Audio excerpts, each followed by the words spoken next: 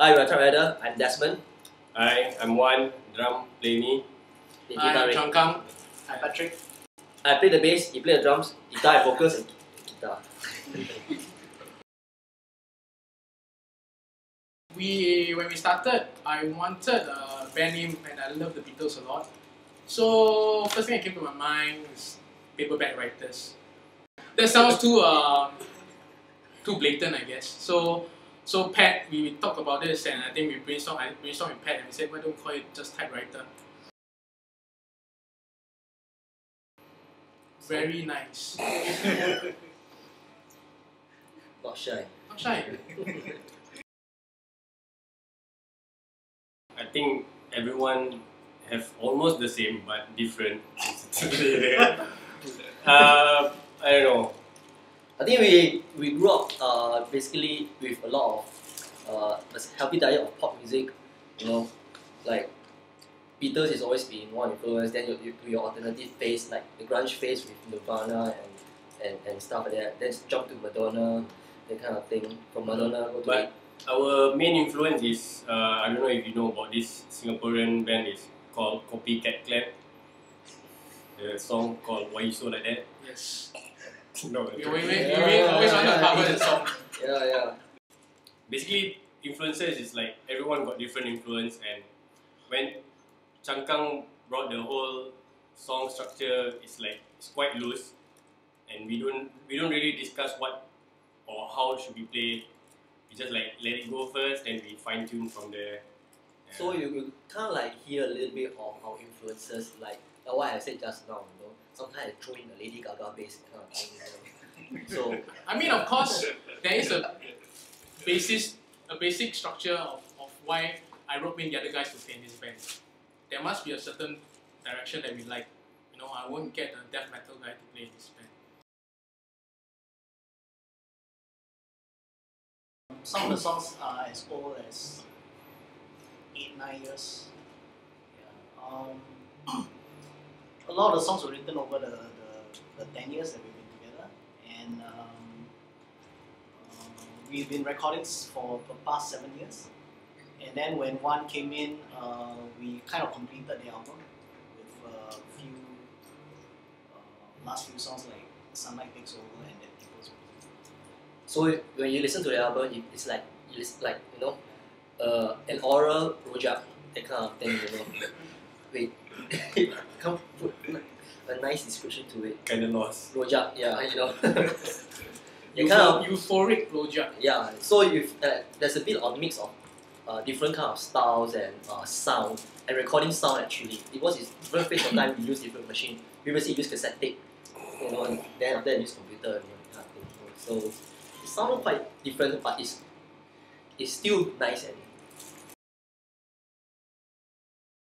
Um, I'm always on lookout for quirky titles. Um, so I was at Mustafa and I saw this um, DVD, instructional DVD. So it says Indian Hip Massage. This is about five years back. So it has been stuck in my head for all this while. And I thought uh, it would be a great title for an album. it's kind of represents the quirkiness in the music. Quirky, quirky in some sense, but there's a lot of like serious undertone in it. So sometimes you like listen in the middle of the night, you cry, kind of thing for no reason. Not really lah. so and and one more thing, uh, you type, you go to YouTube, you type Indian massage. Wow, you see a lot of nice things inside. Really, you should just Yeah. search Indian Massage. No, no, no, that much later because I we have to come up with. Uh, we were trying to meet the deadline to do the album, so I was uh, I kept I, I didn't have. Uh, I kept it open, so I just went down to India and I saw this uncle drinking Guinness. So went up to him and said, "Would you like a photo?" So turns out he's uh, actually a Sri Lankan, um, Sri Lankan uh, businessman who's uh, passing through Singapore. So he was very happy that uh, I called him after that in Sri Lanka and said, "Can I use your photo?" And he gladly said yes. Have you guys sent a copy of the album to him? Yeah, yeah, we did. He sent us a Uh, you Nice. know, we'll, welcome to Sri Lanka kind of. Yeah, it's very very nice of him. a band favorite would definitely be That Deepest Blue. Uh, second, Sunlight Takes Over. Mm, depends. Depends. Uh, Yeah, yeah. Because that that Depends what deepest, you, what you feel. yeah, the deepest blue came about when Wan came to the band really, and it's like a very natural progression of a jamming session, and just jam about a song, come with the bass line, come out with the guitar, the, the drums, then Changkang start singing his blues out, you know. that deepest blue lah, you know.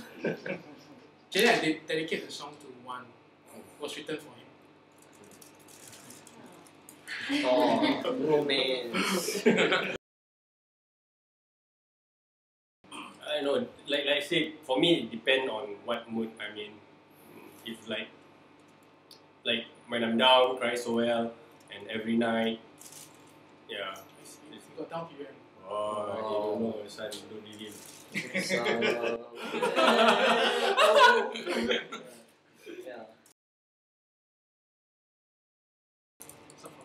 Wow.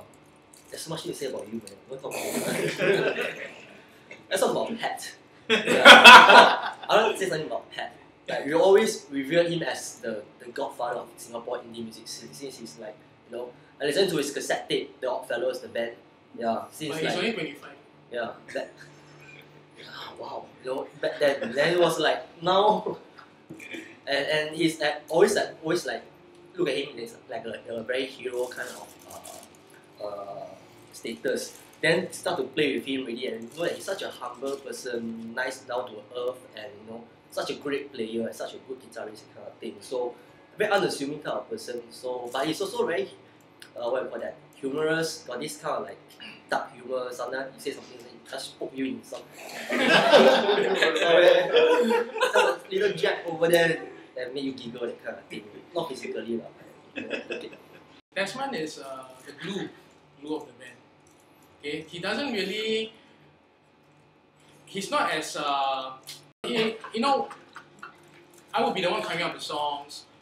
Patrick would be the one who is more quality control. You know, make sure everything is okay.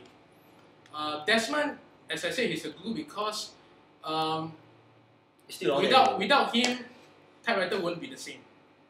You know, he is just there. His spirit is important. You know, so in and out he comes. The vibe, I don't know. It's it's not something that I can just put my finger to it. But when he's around, you you feel comforted that typewriter is there. Um, Wan I know for many years, even before he joined Typewriter, he always come across as someone um, very energetic, full of life, very lively. He's the youngest in the band. Yeah. When he go home very tired. Very positive thinking, you know, like he, we can do anything, you know.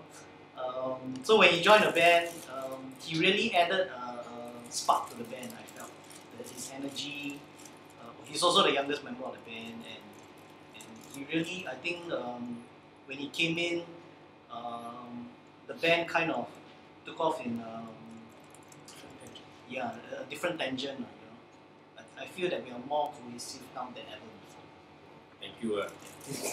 and he's 21. 21, 22, 23, 25. Changkang lah. I mean, he talk.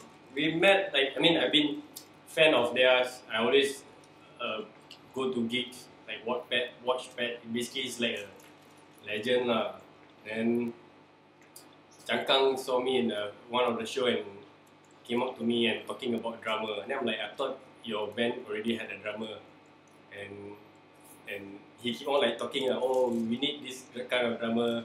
And finally, like after two hours of talking about drummer, he suddenly like, okay, why don't you join the band? And I'm like, oh, okay, okay. That's Mm. what he's trying to say is Changkang is always the okay, other hand side. that's that's that's that's the that's the that's the top side of the story, lah. But the internal side, I mean, this is the part I have to confess uh, and be transparent to everyone. Uh. Like no matter how many bands that I'm in, no matter like how much I am as a band whore, my and how busy that I mean I work as a chef, so basically my weekend is all gone, and Sunday is Sunday Monday is my only time, and Monday is my only time that I always reserve for typewriter lah. If you guys don't realize lah. Oh, Yeah. So if any of other of my band, I mean for me, I play in different bands, but no band is a side project or what, and and I feel it's quite an honor to be around these guys. You see, it's totally different from what I've in been in. actually, Changkang say that just now that I'm the glue and stuff like that. Actually, he also very much like a glue in the band, as it, uh, like always like uh, giving us the direction of uh, how typewriter should feel and sound like. He got this vision over there, and we help him with this vision Yeah. with our own vision. Basically, he's a slave driver, but he Yeah. just trying to be the nice. He said, no, no, Yeah, this yeah. is a band. You see invisible leash over there actually, you know, that kind of thing. It pretty much can pass off as a, like I always say to you, it pretty much can pass off as a singer-songwriter, like basically Changkang and like the yeah. musician backup, but he always like want it, oh no, this is a collective. Even though He keeps saying that this even a though game. he write the lyrics on his own and everything, he, he control us uh, basically, but Yeah. but he still want it as a band uh, so He's the gang leader, lah, you know.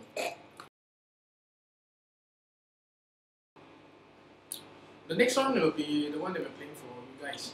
Um, nothing in between yet. We hope to go Beijing, hopefully soon. Um, but because everybody has day jobs, we're going to put our dates together and uh, see where we can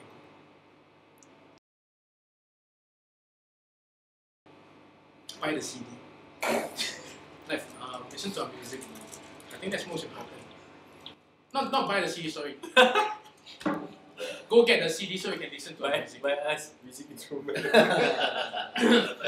Get our music so that you will you will listen to us.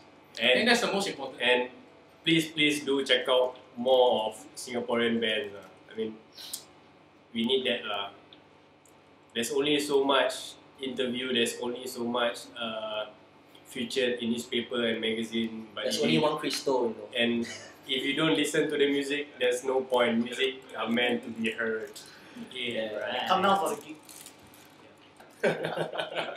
For more updates, follow at Love in 2011 at Twitter.